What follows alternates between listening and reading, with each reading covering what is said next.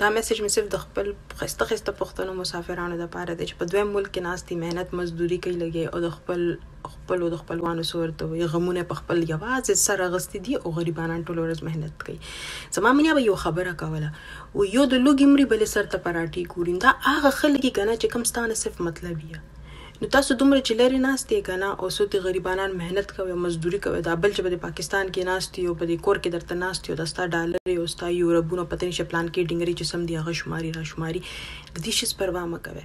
تاسو دومره لرې ناست یې کنه خوشحالي ستاسو هم حق ده خوشحاله اوسېږئ هم د دې خلکو نه لرې اوسېږئ او صرف د خپل بچو خپل مور او پلار او د دې خلکو خیال ساتئ چې کوم تاسو سره حقیقي مینه کوي ځکه چې دا خبره په یاد لرئ مسافر لرې محنت کې مزدوري کې خو ستام حق جوړیږي چې تم خوشاله شې I love you all روه خبره برته زر زر په خوږه خوږه کې وکما سومرم خلک چې دي کنه او دا بهر مسافران چی او دا بهر چې تاسو مهنت او مزدوری کوي دی خلکو د پاره صرف دومره وهما چې خپل ځان او پیژنه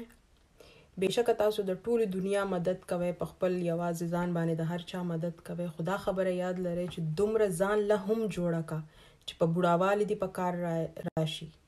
یا چې درسره کله نوکري لاړه شي او خپل وطن ته واپس ځې چې هغه دې په کار راشي. ټول خپل محنت، خپله مزدوري په خلکو په دې سوچ باندې ټوله مه خرچ کوه چې ته به دا سوچ وکړې چې څه خیر دی نن زه د دې مدد کوم نو سبا به دې زما هم کوي.